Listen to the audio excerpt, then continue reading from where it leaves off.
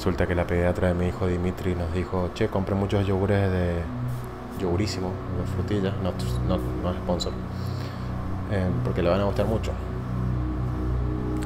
No le gustaron para nada y tengo muchos yogures vencidos. 21 de enero se venció este yogur. Me lo estoy terminando de comer yo. Están buenos. Yogures vencidos hacen bien, son buenos para el organismo, te dan bacterias al, estómago y mm, nunca te caen mal. Hoy no me voy a quejar del calor.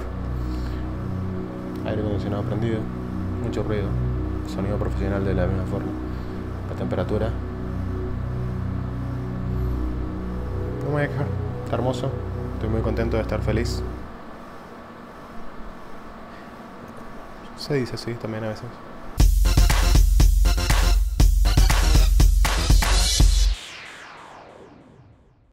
Bueno, hoy vamos a aprender de Liveness y Readiness Proof. Prop, prop, prop, proof. Perfecta pronunciación. Liveness Proof sirve para que Kubernetes sepa si tu pod está vivo. Por ejemplo, ¿para qué serviría esto? Ponerle que vos tenés una aplicación en Java, ¿sí? Que tarda un rato en iniciar. Y durante el inicio de esta aplicación, tal vez el puerto todavía no responde. Entonces vos configurás en el Liveness Proof que espere un tiempo para ver si tu aplicación está corriendo o no. Y si falla esa, esa check, te lo puede restartear. Kubernetes puede matar el proceso y, crear de nuevo el pod. ¿sí? Restartear el pod. Y el Readiness Proof sirve para decirle a Kubernetes si tu pod está listo para recibir tráfico. Entonces vamos a anotarlo acá. Liveness Proof sirve para que Kubernetes sepa si tu pod está vivo y Readiness Proof sirve para que Kubernetes sepa si tu pod puede recibir tráfico. Entonces vamos a mostrar el primer ejemplo ¿sí? de Liveness. El Liveness lo puedes ejecutar de tres formas diferentes. El primero va a ser exec. ¿sí? Vos podés ejecutar un comando para ver si un archivo está presente. Por ejemplo, en este caso estamos haciendo un cat a temp barra healthy. Entonces lo que hacemos con este contenedor es crear eh, un contenedor que se llama Liveness. ¿sí? Usa la imagen esta BCBox, es un Linux super mínimo que no tiene nada y lo que vamos a hacer es correr un comando cuando inicia este contenedor que va a tocar el barra ten barra healthy, ¿sí? o sea, eso lo que va a hacer es crear ese archivo vacío, va a dormir 30 segundos y lo va a borrar. Y el liveness proof lo que vamos a hacer es chequear si ese archivo existe, haciendo un cat barra ten barra healthy, ¿sí? si el archivo no existe va a tirar error, entonces vamos a ver qué pasa. Vamos a aplicar este manifiesto eh, get all de nuevo, vemos que el contenedor se está creando, ¿sí? lleva 3 segundos. Vamos a probar otra, una vez más y ya vemos que ya está corriendo. ¿sí? Fíjate que tiene 0 restarts, obviamente porque acaba de iniciar. Si escribimos este pod, vemos que ya falló 3 veces en los últimos 39 segundos. Fíjate que dice no pudo encontrar el archivo, o sea, corrió el comando cat temp healthy y le devolvió no such file of directory. O sea que falló el liveness, ¿sí? Entonces Kubernetes debería restartear este contenedor este pod. Hacemos un get all de nuevo. Fíjate que ya lo restartió automáticamente. ¿sí? Esto va a seguir pasando infinitamente porque el contenedor cuando inicia crea el, crea el archivo, pasan 30 segundos, lo borra, Kubernetes lo va a restartear y así. De esta forma aprendimos que Kubernetes va a restartear el pod si ve que el, el liveness falla. ¿sí? Ese liveness puede ser en este caso un comando que corremos dentro del contenedor. Vamos a ver el segundo caso.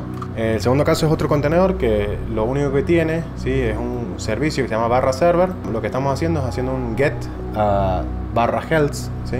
que es una ruta dentro de ese contenedor, una ruta web, ¿sí? dentro de este, de este servicio web. Vamos a aplicar este contenedor.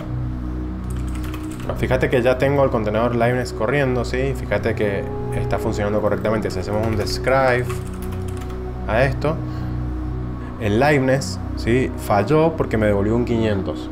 Entonces, Kubernetes obviamente lo va a matar a este contenedor también. De la misma forma que corremos el exec, en este caso estamos haciendo un HTTP y fíjate que también lo restartió, ¿sí?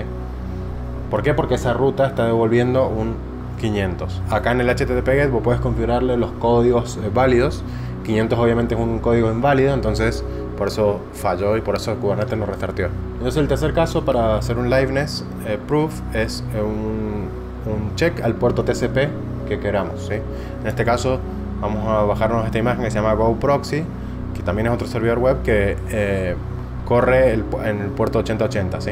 Y de nuevo si hacemos un describe pod go proxy Ah, una cosa interesante es que Wild Liveness le puedes configurar varias opciones. Una de ellas es el delay. ¿sí? El delay en este caso es de 15 segundos. ¿Para qué sirve el delay? Es para esperar 15 segundos, en este caso, antes de empezar a hacerle un liveness proof. ¿Por qué ¿Por qué está esto? Porque hay veces que, por ejemplo, tarda un rato en iniciar un proceso y todo eso, entonces es esperar un ratito para hacer los chequeos, porque si no te vas a estar restarteando el pod todo el tiempo sin que el proceso inicie. Bueno, entonces en este caso eh, siempre va a estar corriendo, el, puerto es correcto, entonces no lo mata. Entonces, como había comentado antes, el live me sirve para ver si el contenedor está vivo. Pero ahora tenemos que ver si el contenedor está listo para recibir tráfico. Esto sería útil, por ejemplo, si una aplicación eh, tarda un rato en iniciar y puede ser que el proceso esté corriendo bien, pero la aplicación todavía no está lista para recibir tráfico por varias razones. Una puede ser que el primer request cargue toda la, aplicación en la memoria, eso pasa a veces. O la otra puede ser que tiene que conectarse, por ejemplo, una base datos o algo así, tarda un ratito en conectarse, entonces uno le querés pasar tráfico al principio, porque puede ser que esas primeras requests eh, no funcionen, o funcionen con error o funcionen lentas. Entonces, lo que hace Kubernetes es chequear que tu contenedor esté listo para recibir esas requests y recién ahí le empieza a mandar el tráfico. ¿sí? Entonces acá en este ejemplo corremos un Nginx ¿sí? y el readiness proof, el liveness proof va a ser solamente chequear que el, que el puerto 80 esté levantado, que el, puerto 80 esté recibiendo peticiones. Eso va a funcionar sí o sí si levanta Nginx. Y el, el proof vamos a hacer un HTTP GET a barra ¿sí? para ver si, si Nginx está listo para recibir peticiones. ¿sí? Vamos a aplicar entonces aplicamos y hacemos get all. Fíjate que ya está corriendo. Y vamos a aplicar, yo tengo un servicio acá. Vamos a aplicar el servicio que es muy similar a los que ya tenemos antes. Busca eh, una app que se llama Nginx y hace un node port, ¿sí? o sea que crea un puerto en el nodo que apunta al 80 del contenedor y, entonces crea un servicio para que yo pueda acceder de afuera. Lo vamos a aplicar. Entonces ahora yo podría hacer un curl al puerto 30.000 y me debería llevar al Nginx, ¿sí? Al barra. Fíjate que ya me responde Nginx. ¿Y por qué me responde? Porque está pasando el readiness. Fíjate que si hacemos un get all, acá donde dice ready, dice 1 de 1. ¿Qué es eso? Eso quiere decir que de, recordemos que los pods pueden correr más de un contenedor, ¿sí? Entonces dice 1 de 1 porque dice que eso quiere decir que un contenedor de los 1 que están corriendo en este pod están ready, están listos para recibir tráfico.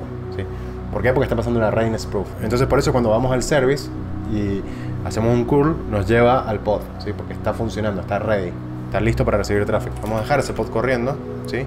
Y vamos a ver otro ejemplo más del mismo contenedor, pero fíjate que ahora lo que estamos haciendo es que el path va a ser barra hola. Eso va a fallar porque barra hola no existe en el contenedor este de Nginx. Se va a tirar un 404 para Kubernetes. Kubernetes va a querer intentar pegarle a ese path y le va a devolver 404. Entonces debería fallar. Probemos. Aplicamos el manifiesto. Hacemos un get all. Fíjate que apenas lo, lo, tiras, dice ready 0 de 1, porque de nuevo no está listo para recibir tráfico. ¿sí? Porque no está pasando la readiness todavía hacemos un get all y fíjate que sigue diciendo 0.1 y va a seguir diciéndolo porque está fallando. Vamos a ver por qué falla. Entonces le puedes hacer un describe pod nginx fail, ¿sí?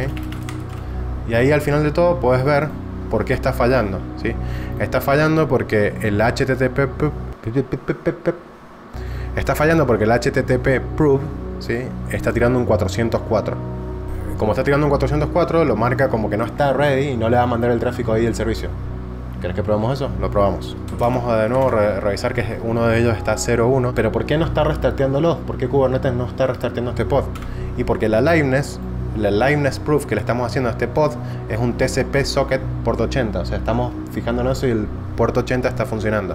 Y Nginx está levantado, está funcionando. Entonces el puerto 80 sí funciona. O sea que Kubernetes no va a restartear este pod. Porque sabe que está vivo. Pero cree que no está listo para recibir tráfico porque el readiness proof está fallando. Como a los dos les puse el mismo label, fíjate que a los dos les puse labels app nginx y labels app nginx, ¿sí?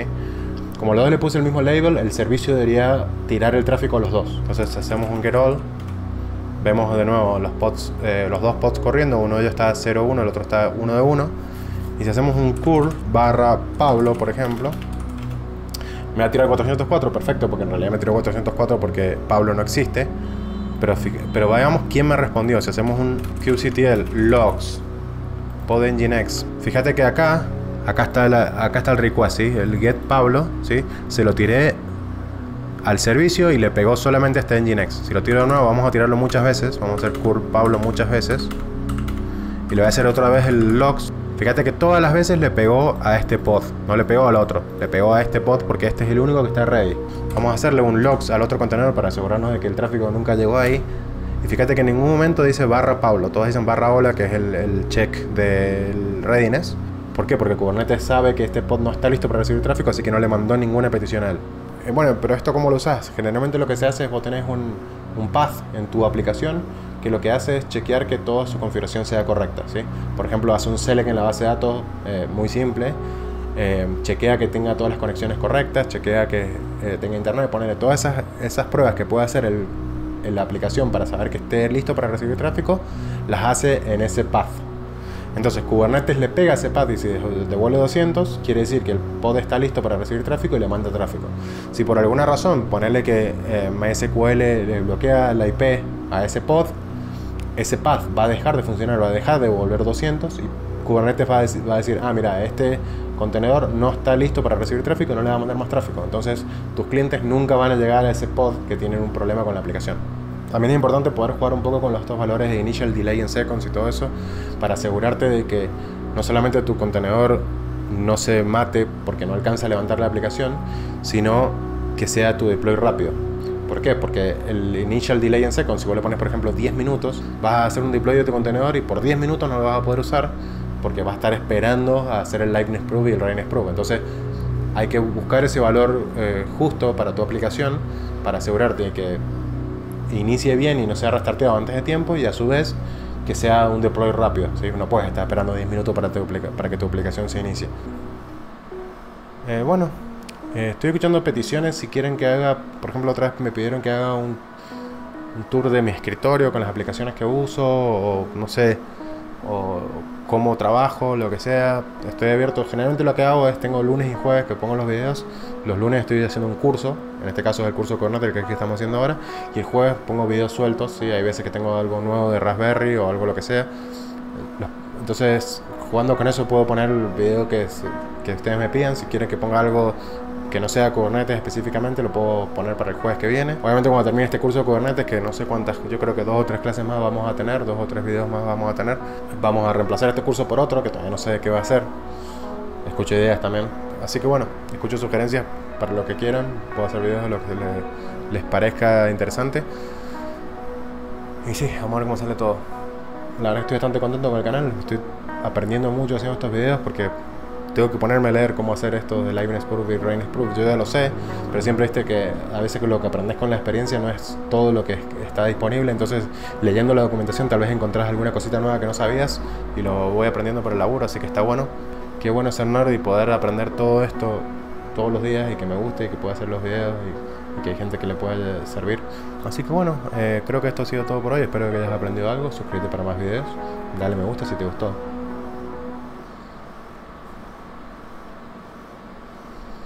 Dale no me gusta. Si usas el liveness proof haciendo un ls barra y lo único que hace eso es chequear que tengas los archivos y siempre te va a pasar y no estás haciendo nada bien, no, aprendiste nada hoy. ¿Puedes creer? No aprendiste nada. Hoy no voy a caminar, me voy a quedar acá. Eh, fue más o menos gracioso. Estamos, estamos medio flojos con los, con los pulgares para abajo. Ya va a mejorar. No hay, no hay mucha presión para eso.